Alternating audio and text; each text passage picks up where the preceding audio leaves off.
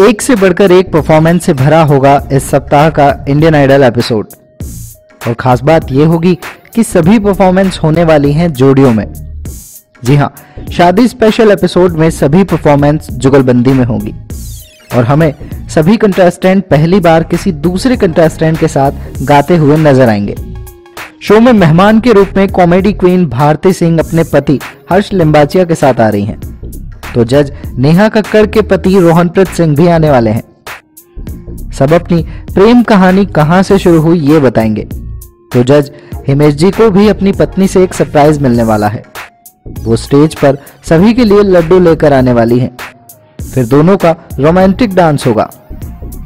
बात अगर परफॉर्मेंस की करें तो इस बार आशीष कुलकर्णी के साथ शनमुख प्रिया की जोड़ी बनी है। दोनों ने फ़िल्म पुकार का गीत के सरा सरा पर परफॉर्म किया।